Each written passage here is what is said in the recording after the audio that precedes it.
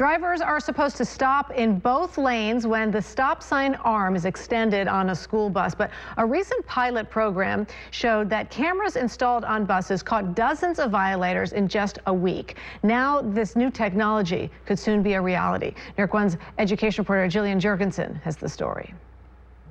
There are automatic cameras outside many schools across the city to catch speeding drivers. And soon, school buses may be equipped with tiny cameras to catch even more traffic violators. If a vehicle went by while that stop arm is out, uh, telling cars to stop, a camera would catch them, we'd issue a violation, and my hope is that kids could get on and off our buses without having to worry about getting killed. It is illegal to drive around a school bus that has its stop arm extended while picking up or dropping off children. The NYPD has written nearly 730 tickets for the offense so far this year. But the cameras would allow the city to fine drivers when an officer is not there to catch violators. The ticket would be mailed to the vehicle's owner who would be fined $250 for a first offense. If we have an opportunity to let a uh, computer do the work and do the enforcement for us, uh, we should be taking them up on that. This month, the state Senate and Assembly agreed to support legislation allowing the school bus cameras and the tickets they would generate. Once it is signed by Governor Cuomo, the city would have to pass enabling legislation, too. The legislation is being pushed by companies like Bus Patrol, which recorded some scary footage during a test of the tiny cameras this year in East Meadow, Long Island. Cameras on nine buses documented 70 violations in just one week. As a new parent, I'm horrified when I see a child now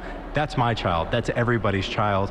And I want to make sure that those stop arms are enforced. Under the legislation, municipalities could buy and install the cameras or allow private companies to do it for them in return for a cut of the fine. Those arrangements have sometimes been problematic. Bus Patrol took over its technology from a company called Force Multiplier Solutions, which was dissolved after its president bribed officials in Dallas. Ultimately, I just want to see it get done. I don't care who does it, it just needs to happen. Kallos said he would introduce his city council bill as soon as the proposal in Albany becomes law.